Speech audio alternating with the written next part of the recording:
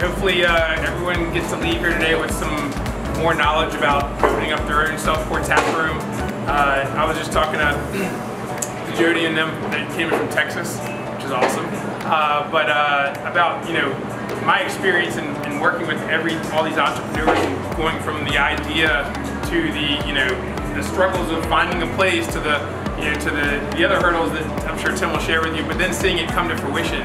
And you know, two and a half years later, uh, this location just you know doing great and, and, learning and growing and adding new things to it. I just get such fulfillment out of seeing every project come to fruition and every entrepreneur kind of use uh, something that I just had in my head to build a whole business around. So it's, uh, you know, spotlight is definitely on Tim today. It's not on Pour My Beer. I, uh, I hope, hope, all you guys, it's more of like a fireside chat experience, but uh, Tim's story is, is very similar to a lot of our customer stories and, and the fact that, you know, didn't have any hospitality background at all prior to this, but, uh, you know, we, we got to know each other a lot during the, the, uh, the I guess, uh, prospecting phase. Uh, him and his partner Eric, uh you know, we, we meet at different breweries and we met you know, at our office the first time, I think, yeah. right? So, uh, yeah. Yeah, I mean, we, the, the, general outline is, you know, I, I, wanted Tim to kind of go through some of the, the different stages. And, uh, you know, Tanya, I guess, can facilitate, or, you know, since it's a pretty intimate crowd, you can just kind of throw a question out if there's something that he says and just maybe raise your hand or something. And, you know, the goal is that you're, you're, you're learning from uh, mistakes that, you know, we've collectively made uh, to help your experience be a memorable one and a, and a good one as well. So, uh, I guess uh, I'll pass the stage to Tim and, and we can kind of, Tanya, did you want to go through the different stages or how did you want to do that? Yes. Good. Yeah. Thanks. Tim, if you want to give a little bit of your background prior to Navigator Tapper. Sure, yeah, I mean, um, first of all, you know, I don't know how much you know about Josh Goodman's story with how he got into this field in the beginning, but I mean, you know, he's been at it now for seven, seven years or something, and I mean, the ups and downs, trying to figure out new technology, coming up against roadblocks in every state, um, some of the setbacks and some of the highs and lows. I mean, he like really pioneered this. Uh, the other options out there are really bad uh, for self-pour. So like, for me as an entrepreneur, I I genuinely am thankful that Josh went and did all this stuff so that I could open this, which is for me a, a dream uh, project, you know, and it's been an incredible experience. So, um, you know, in a sense, thank you for taking yeah. the taking the bumps and bruises. Now it was. Uh, I, I, brought a few of my bumps and bruises with me. There was uh, really had. Uh, we brought. We've been replacing a lot of our competitor systems lately. This is. I brought this to Tim because Tim has a very unique knowledge of our competitors because just like anyone in the industry, they're, they're doing their research. So uh, we've replaced about 80 of these screens in the last uh, like two weeks. And you know, when, when, when I partnered with the group out of Austria to build our own technology, it was because I actually resold this technology for a good you know year. And I, I was the one going to the you know the Marriotts and the other locations, you know, replacing these. And uh, you know, when you build something that's built for longevity and stability, like these, I mean, uh, Tim will tell you, these, these were installed two and a half years ago. There might have been one or two screens that we've had to replace, but nothing anywhere close to like this. Um, so, you know, I, I don't mind taking the bumps and bruises. I feel like it's, uh, you know, it's definitely made, made me more aware of, of the weaknesses of other companies when, when you're reselling them. But, um, yeah, so I guess the, the first uh, section was kind of like the business plan and, and picking the right partners. Uh, you know, I told them a little bit about your partner, Eric, but maybe if you want to give them a little bit of a an idea of how that idea started, Eric's background, and kind of how, how you guys came up with this, sure. this concept. Well, you know, the self-pour tap room uh, has a, a beautiful thing because you can be outside the industry. You don't have to have run a restaurant or a bar to enter the industry because the self-pour tap room is a little bit more streamlined and you can, um, as an entrepreneur, get access, whereas before this, um, I, I would have probably never opened a bar or a restaurant. Uh, I, you know, I came across Self-Pour Taproom, pourmybeer.com, and I was like, that's something as an entrepreneur that I could actually get into. And so, you know, that's amazing that it lowers the barrier to entry. for entrepreneurs that don't have 20 years of experience running a restaurant. Um, partners, you know, look, it's a double-edged sword. You know, there's people out there that say, don't partner with anyone you know, no best friends, no family members. Uh, if you can do it, do it on your own. Um, you know, there's outlaws, there's in-laws. Um, you know, that whole perspective. And, you know, I get it. Look, a lot of partnerships don't work. The majority of them fail and they separate. Um, so you have to be really careful, like who you're actually partnering with. Um, that being said, like if you can have a partner, two people with different skill sets sharing the load during this, it's not a short process. You're talking a two-year cycle from thought to concept to you know launch. Um, you know, I don't I don't think I could have done it without um, you know my partner, and he couldn't have done it without me. We were able to have that dynamic synergy. He is the technical guy. He is the systems guy. He's able to you know code. For me, I'm the people person. I can manage a staff. Everyone feels comfortable around me, so I, I create a fun, warm, welcoming environment, and that's what you need. That kind of balance between partners. So I've had like the best of both worlds. Um, someone who's totally different than me, and it works. But um, I would say be careful um, because you could pick the wrong partner, and it uh, it's not fun. When you guys were looking for locations, uh, which I think some, how how many people here are looking for locations right now? Anyone? Okay. So when you were looking for locations, I remember this very specifically. Actually, Duncan was with us the one meeting. Um, uh, what were some of the, like, how many locations did you look at? Sure. And then how did you know this was the right location? Yeah, I mean, you know, I would, you know, you hear the saying, location, location, location is everything. Uh, it's true. Uh, here, looking around Chicago, obviously, there's hundreds of locations you can look at, and we looked at over 150 locations over a year and a half. Um, some of you are, are not from a massive market like this, so your market, there might be less, which is, I think, better. Um, for us, we actually were convinced that there was not a place for us, and we were going to walk away from the project because we couldn't find a location that we knew would be successful.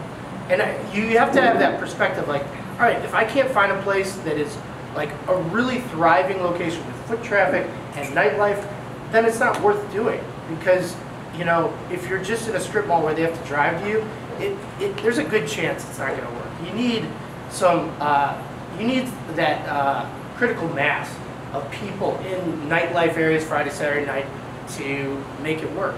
And so uh, we, we searched and searched.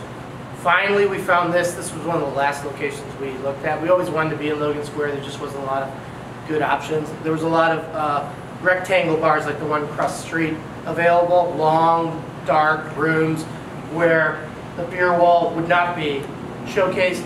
Number two, no one knows what's in there, it's so dark. Number three, the section of where people could sit or uh, go to the beer wall is so thin, it's claustrophobic. So we passed up 20 of those, and we bid on some of them, and we're so glad we didn't get them. Um, but yeah, it really comes down to like finding the right location, and uh, then negotiating the right lease. I was just going to ask that. did, you have experience negotiating leases prior to that, or? Uh, you know, we we had seen them, but that was a new experience for us. Um, you know, a bit of unsolicited advice. You know, whatever you negotiate, negotiate in the LOI, letter of intent. Um, negotiate the LOI. Don't wait for the lease to uh, negotiate whatever you want. You know, get a good mortgage uh, or get a good uh, commercial realtor and let them really ask for everything you want in that original LOI. And it all goes from there with the, uh, if it's all just word of mouth or, uh, you know, the, the landlord is, is giving you his word, it's, it's not gonna be in your lease. What are some of the, I guess, uh, looking into like if you were to open another Navigator tap room, what are some, uh, I guess, uh, some things that you would go into the next lease negotiation with that you'd like to, you know, you wouldn't make a deal or a long-term lease with them if you didn't get X? Yeah, just, you know, uh, TI money, um, you know, tenant improvement money is, is important. If you can get that, uh, ask for the world in a market where the landlords are motivated to get a good tenant like this, that's, you know, tech savvy and, and fun and, uh, will work for his location or her location, then, you know, ask for uh, TI budget, ask for abbreviated rent. You know, you shouldn't be paying rent while you're in construction, so, you know, get six to nine, 12 months abbreviated rent. Don't just settle for two months or three months, you know, ask for more TI money that you uh, would just accept if you didn't know it. And then, uh, I guess any, any questions so far? I feel like I'm, Have you experienced any other problems with any of the other businesses in the area, like not wanting you here or? No, no, not at all. Yeah. uh, so when you, when you and Eric were, you know, you'd gotten past the, we had a good conversation, we, this is a good idea, to putting the business plan together, uh, at what point did you, I guess, start putting together how much capital it would take to open up a location? Um, you know, it, it was such a process to, you know, originally we were looking at doing a brewer. You know, we talked about doing a dive bar. Not that we wanted to do that, but just, you know, what would work in Logan Square. Uh, there's a lot of breweries out there, so we decided that's too saturated of the market, high upfront cost to enter. And uh, so, you know, we started looking at uh, various business plans that we could find, brew pubs, breweries, you know, self-pour tap rooms, whatnot. Um, and we really felt like, okay, self-pour tap room is the most straightforward. Uh, it has, you know, the most um, just consistency in its in, in its uh, cost model. Was it a lower uh, amount that you, you would need to raise than a, bar? Yeah, because a, a lot of bars are going to have a kitchen. That kitchen, the black iron cost, all of that, brew, if you're a brew pub, all that equipment just really skyrockets the, the upfront startup cost. So, um, you know, we, we just, I mean, it took us a good year to really just go from, hey, we should do something. Let's do a brewery. No, Right. let's do a brew pub. No, let's do a self-pour tap room and a nano brewery. You know, there's a couple versions of it to let's do self-pour tap. You know, but this was a, a time period in where there weren't too many. Board mini, yeah. You know, so it was truly a new idea. And uh, uh, now, feel like Jim is talking too much, so we might, might get there. Oh, thank you. Go with this. Um, and so, uh, just uh, with with uh, Logan Square, you know, as Tim said, it's a pretty heavily dense area. So you have Logan Square, you know, Bucktown, and and you know uh, Wicker Park. And what I think is really uh, a testament to what what they built here is, I was talking to Jody and them about your personality is, is built into the, uh, the the venue. So you have Navigator Tap Room, and then you know about a mile down the road you have Tapster, and you know Tim and Roman, you know two owners, they, they have a great relationship uh, because they're two different locations. It's a lot of people think like, oh, there, well, there's already a self pour bar in Chicago, so but that's not the case at all. It's been you know, it's been exciting to see not just you and Roman become you know better friends through the process, but to see both of their businesses do very well um, because they they're offering two very different things. You know, while self pour taps are part of the equation, it's not the the total experience. Um, and then as far as like you know when you when you did put together the business plan and how much you needed to raise, uh, did you did you underestimate how much you needed to raise to get open, or did you overestimate? Um, you know, I mean, in the end, you know, you're going to need a half a million, you know, on average, any location to do it right. Um, you know, you could do some of the work yourself, bring that down. You could, you know, streamline it in certain ways during construction, bring that down. But, you know, that's the range, up to half a million. And we knew that. Um, but, you know, just putting all that into the spreadsheet, all the costs, everything. Um, you know, we did, we had a couple versions, light, medium, shoot for the stars, do everything how we really, really want it. And in the end, you know, for us, it was difficult to raise that kind of money. It wasn't just like, oh yeah, you know, just, um, just come up with it overnight.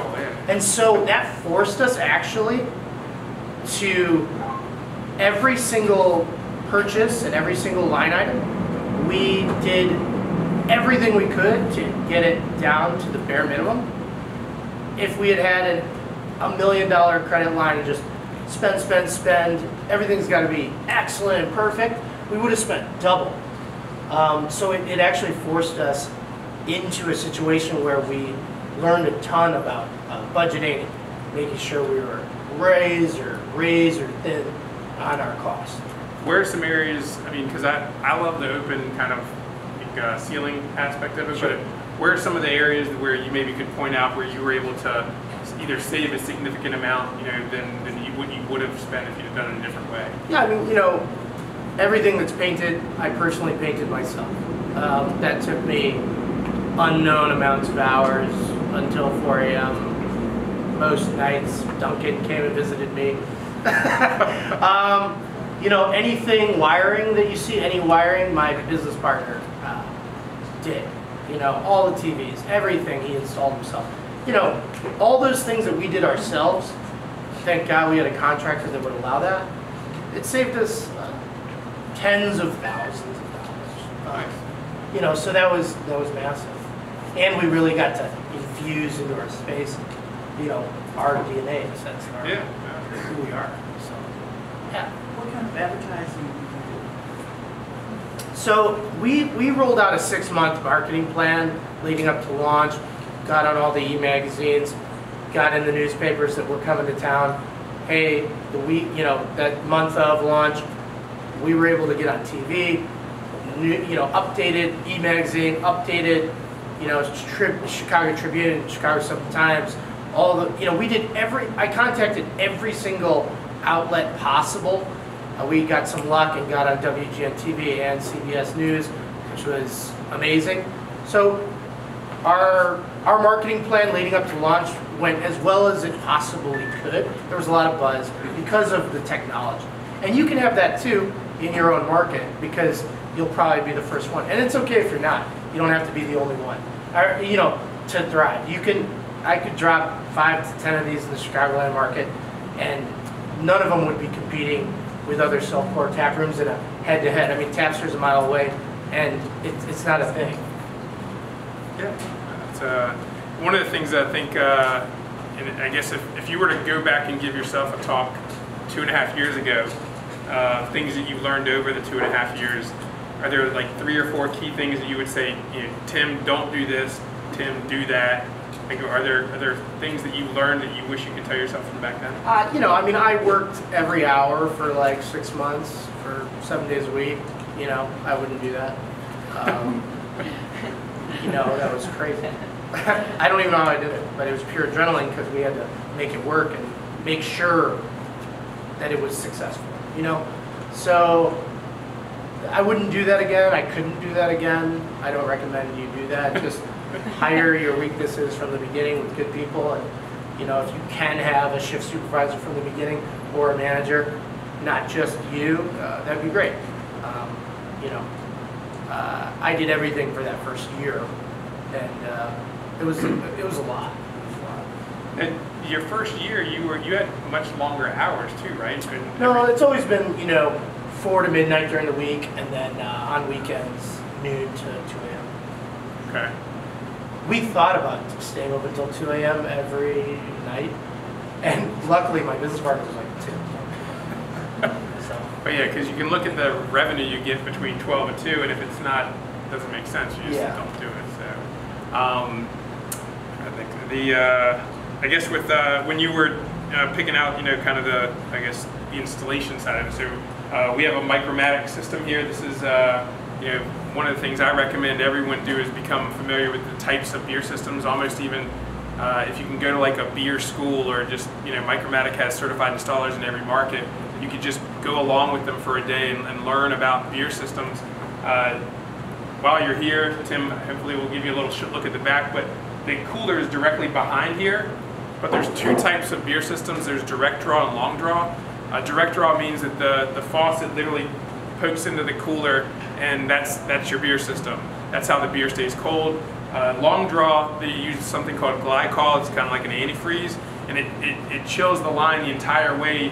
And this whole block, this is a Kronos uh, tower. Uh, that whole area is, is constantly being circulated with glycol. Actually, uh, we have Pat, uh, who's the Micromatic uh, director of this area here as well. So if, if any of you have any you know, more in-depth questions about that, or Pat, if you wanted to add a little bit more about the Kronos technology, You're, you're doing you're right on right now, so. All right, I'll, I'll contact Kian for a position after. Uh, Talk to me afterward, by all means, I'm here for you guys today, so thanks for inviting me. No, no problem. Are we- Yeah, I mean, you know, I can't, I cannot stress enough how important it is for the cooler to be uh, fail-safe. And that's what you get when you pay for Micromatic and a verified Micromatic installer.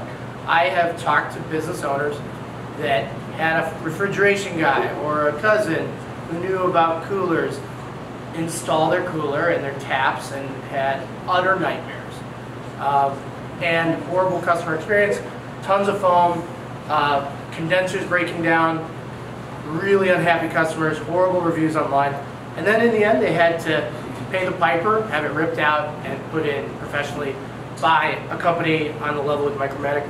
Honestly, if, if, if you're considering installing a custom cooler with 30 to 48 taps, all, that's gonna be one of your largest expenses in your startup.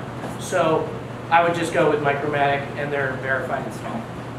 Simple as That's my presentation right there, great. So then the key is, is that temperature too at 30 degrees.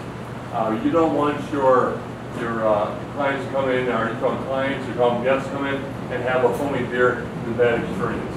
The most important thing is that 38 degree temperature. To hear that every time you talk about dresses, it's 38 degrees. You go about a degree or two higher or lower than that, but other than that, you need a lot to at 38 degrees, and that can help you get there. That perfect quality time. Thanks. Good question.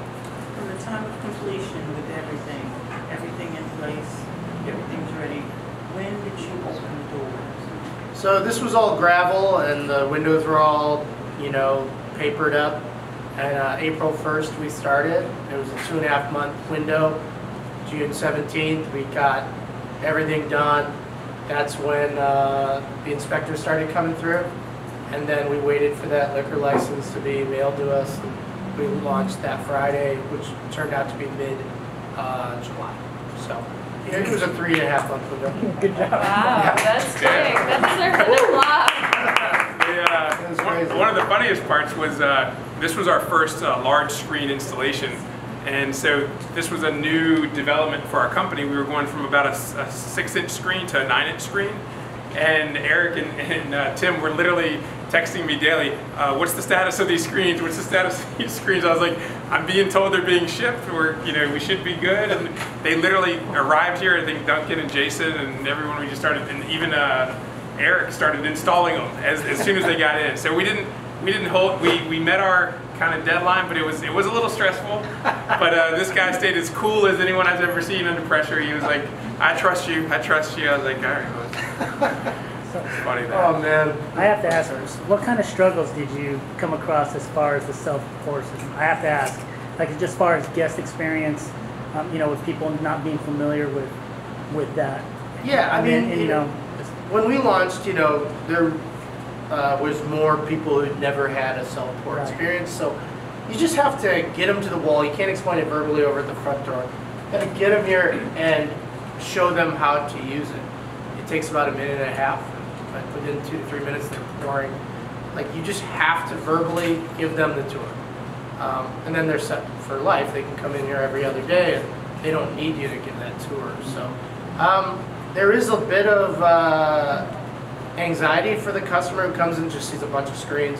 They don't know anything about beer. They feel a little bit inferior or something.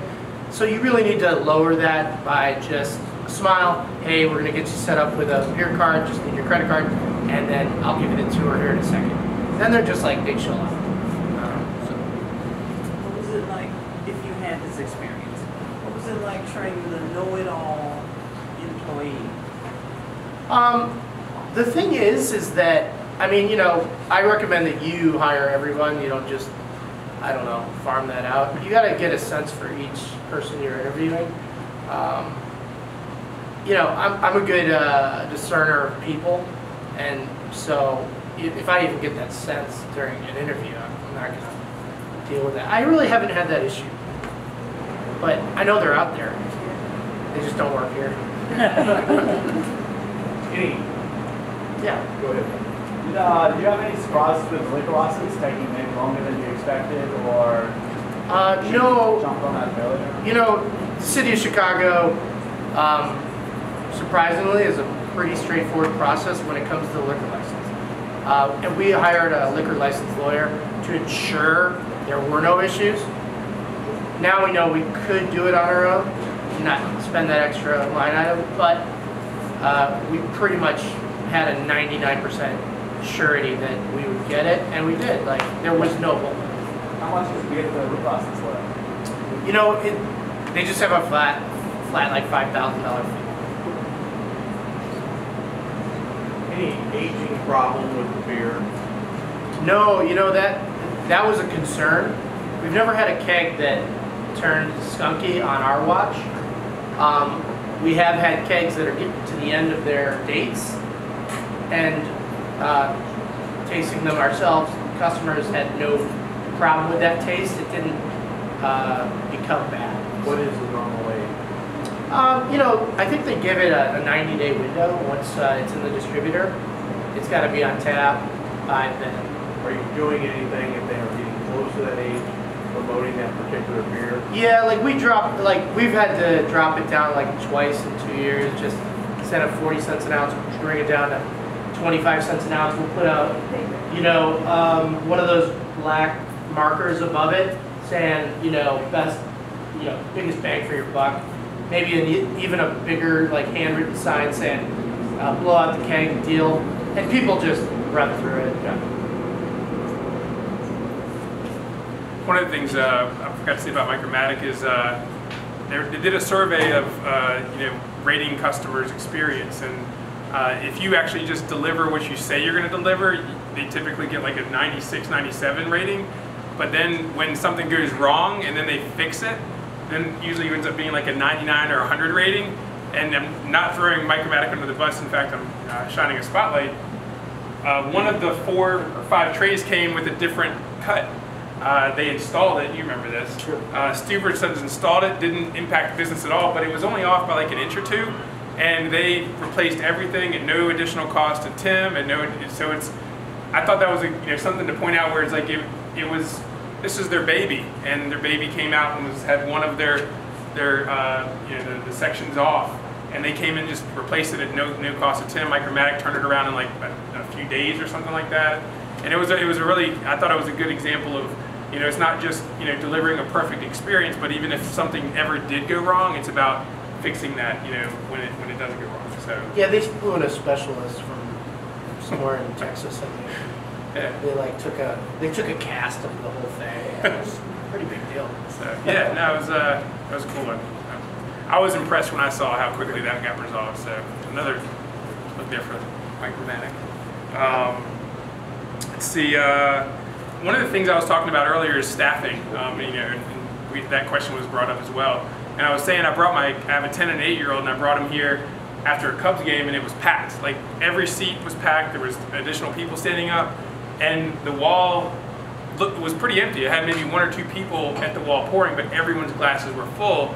And I was standing over in that corner, and I, I, I was just smiling. My wife was like, "Why are you smiling?" I was like, "Because this is this is it. This is why this exists. You know, there's no waiting. Like, um, and then you know, I also went to look to see how many staff he had, and I think at, the, at that he only had like probably you plus maybe two other people, maybe. Yeah, on Um, a weekday night, like a Wednesday, Thursday night when we're packed like that, I'll have two employees. Right. So it's you know I think that in itself is uh, you know from a staffing perspective it's you know I, I assume you'll you usually have them kind of scattered out, but then on the peak times it's you know maybe you or a manager plus two additional two additional right. Yeah, it's um, you know, Friday, Saturday night, you can run tight, like, okay, hey, we're not busy tonight, I'm gonna cut two people. That's just the industry. They expect to be cut if it's slow. Some of them wanna go home, you know, so you, you get a, a sense for your schedule and then you run light when you can and you staff heavy, so it's, the floor is covered and the customer experience is positive, you know? The whole like, I'll have 200 people in here and I have one person over there and one person at the bar. Um, it doesn't work if people are having bad experiences because they can't get reactivated. They got foam on because they don't know how to pour because no one told them. You know what I'm saying? Yeah. No, it's, a lot of that stuff is just kind of ingrained in your head now, but you know just. Even where, no matter where I'm at, if I see someone not open the tap the whole way and they get foam, it, I have to go in and kind Sure, of, yeah, you know, you get sucked in. but then, uh, and Micromatic also created a, a, a tap. It's called the trigger tap, and essentially it's an either all the way on or all the way off tap, which we always recommend. It just reduces people not pouring properly. Um, but on the untap thing, uh, I like that too is, uh, what happens with, you get a guest that comes in, they're they're afraid to open that faucet. Opens a little bit, what happens, it creates agitation. Which agitation what happens with agitation, it breaks the CO2 out of solution. Kind of going down to some physics here, and yes, there is physics in draft beer, so physics classes you had in college and high school come back now in your favor. Uh, but it'll agitate, uh, the CO2 uh, in the beer and causes foaming. And then again, will give an unpleasant experience for that guest. I don't want to pay for foam, that kind of thing. So as you just mentioned, it's either on or off, so it takes the user air out of it. yep, yeah, no, it's, uh, Trigger tap, quick trigger tap, it's either on or off, it's spring loading. So that, and like, you know, if you notice there's, um, well, usually there's sweating up to the tap, that's glycol chilled all the way. You don't have to do that, but it makes sure that your line is cold all the way to the person pouring. And then uh, also just heavier tap handles, that's real metal, right. uh, not the plastic painted chrome. Uh, it's a total different feel, and it helps the customer uh, like with the trigger tap. All that, all that combined, uh, pretty much means that uh, most customers with a micromatic system are going to pour really well. You still need your staff to show how. Right. We always suggest having the staff help them pour their first beer.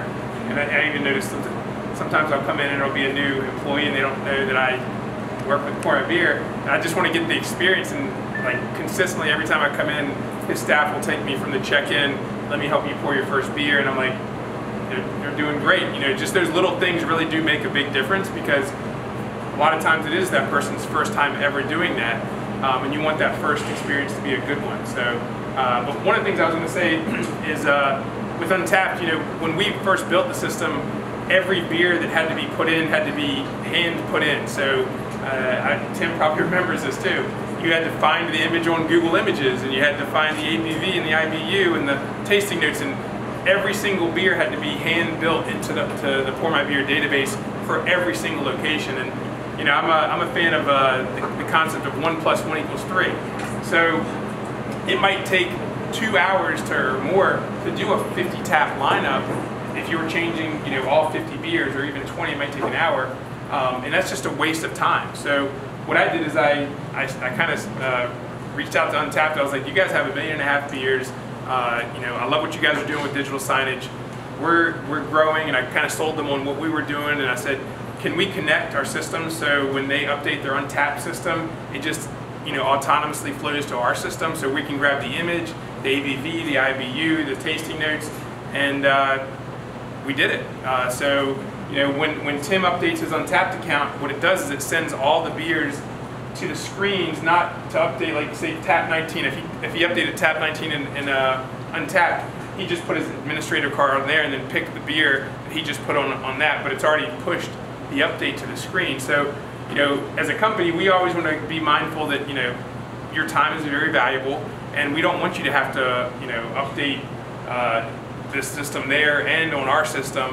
Or more importantly, if, if we became the police and we owned the beer database, and if you wanted to put some like limited release in there, we still give you the ability to put custom images in there. Like Tim could put his face on one that was a collaborative beer, you know, and when someone goes up to it, which I, highly recommend, you know, the beer and everything, uh, like a meme. Um, but you can you can have fun with it, and we also made it so when you hit your limit, uh, you can change the, the message that is, is communicated to the customer. Instead of saying, you know, you've hit your responsibility limit, uh, the default one that I put in there is, you're beautiful, hope you're having a great time, please see one of our friendly staff to reauthorize your card.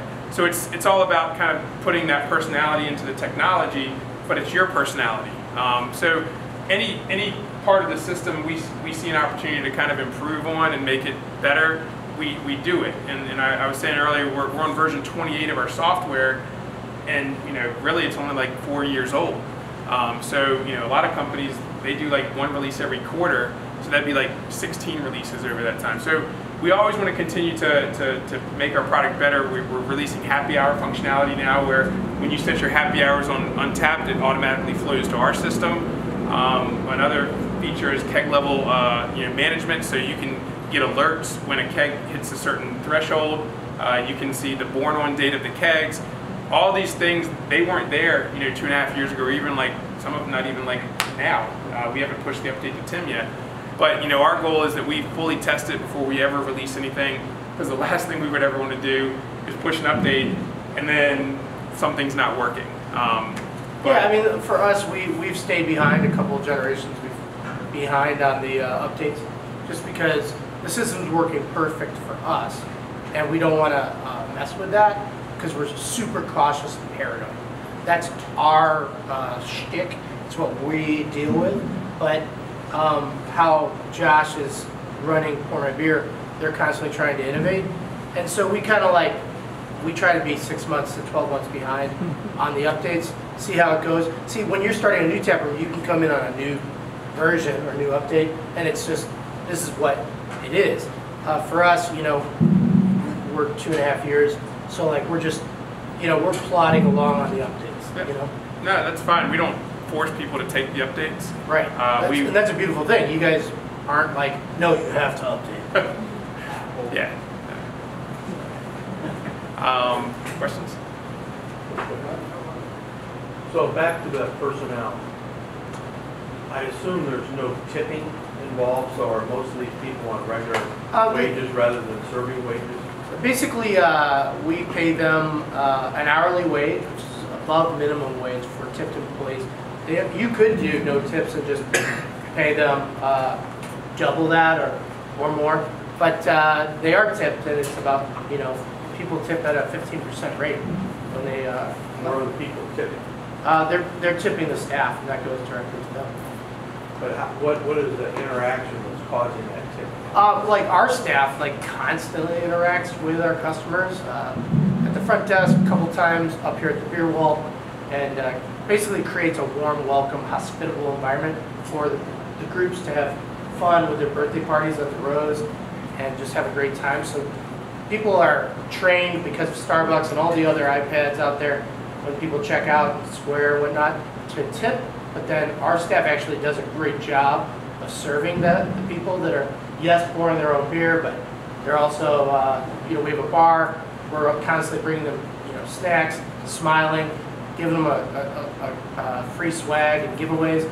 So like, the customer base is happy to tip our staff, and they've earned it. Okay.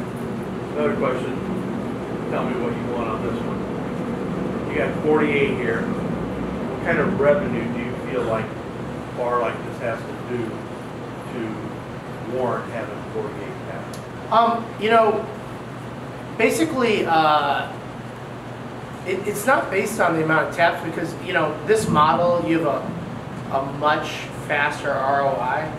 Um, your costs are gonna, you're gonna break even that first year, year and a half, two years max. So, you know, if you've picked a good location and you got a good market, which I'm sure everyone in here is from a market where there's beer lovers and craft uh, beer enthusiasts, like the number of taps really doesn't matter. We, we would have liked to do more. It just meant, would have meant a much larger cooler for um, the space we could get.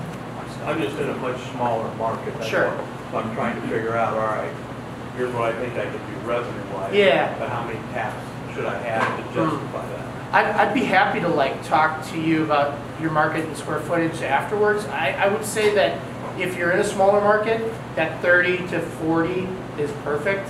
Um, Josh has seen a, a hundred of these places around the country, so he could weigh in, but like, you know, basically what I want to say to you is, you know, we were thinking 60, 88. We're so glad we didn't do that.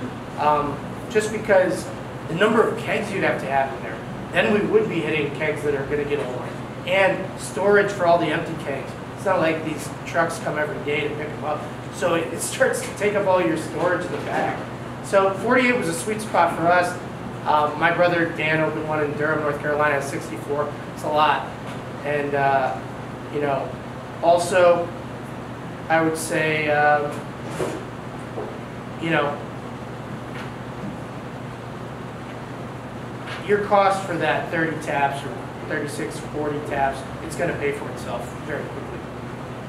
Oh, just for uh, example, Highland, uh, Highland, Indiana, it's a pretty small market. It's near Munster.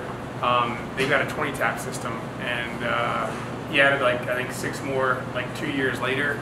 But they, I mean, they that's more than enough for his market, and it's a pretty Yeah. small it, space. It's much smaller than this, but it, it does really well. Um, Tanya, I gotta What- take what's a a small break, market because I just to? Yeah, yeah, yeah. Because we went somewhere where they said they were a small market, and we thought we were a small market. Twelve And it- minutes, he's wrapping it up. so I'm just curious what Sure. a small market means.